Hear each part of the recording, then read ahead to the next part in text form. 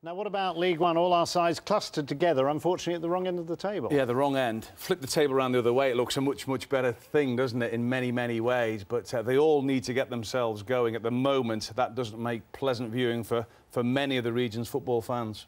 Now, it's early days yet, but yeah. the dreaded word pressure is being bandied about. Well, the silly season started in the first week of the season, didn't it, with managers being sacked and pressure is building on managers whose teams are at the wrong end of the table. But uh, some of the managers in our region at the moment not feeling any pressure at all.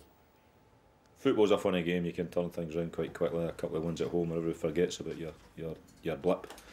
Uh, the best place to play is at home. The best place to pick up your points is at home.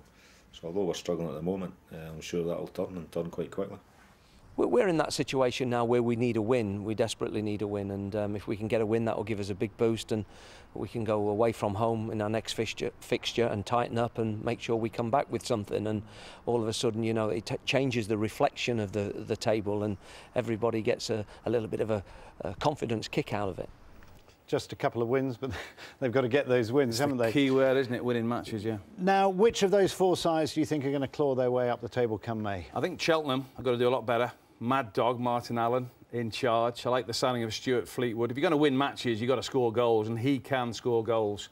That's a great signing. I think Cheltenham are going to pick up for sure. And I think Bristol Rovers, my former club, punching below their weight. The players they've got, they should be doing much, much better, but they haven't won since back in August. They beat Hereford 6-1, I think it was. They could do a few of those goals over the last few games, but I think those two clubs will pick up. But you haven't mentioned Yeovil, so do you think they're in danger? I think it's a tough old season. I know Russell Slade hopes to bring in a front man. And again, it's the recurring theme. Score goals, you win matches. If he gets a striker in, things will be a lot better for him. Fingers crossed for them. Yeah. Well, I reckon another temperature check in about yeah. a month's time. Yeah. Thanks very much indeed, Jeff.